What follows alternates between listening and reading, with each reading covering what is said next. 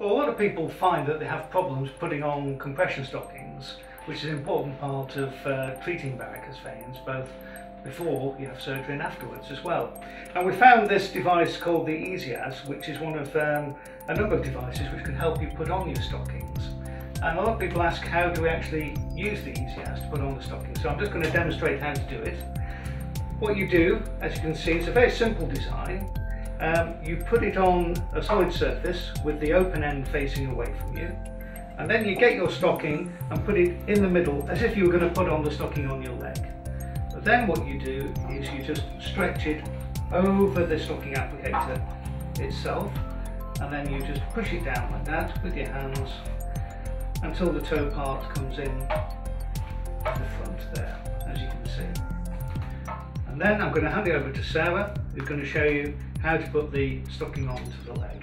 So on Sarah, there you go. So again, you put the open end to the top, put your foot in, and then just slide it over the leg, and it's as easy as that.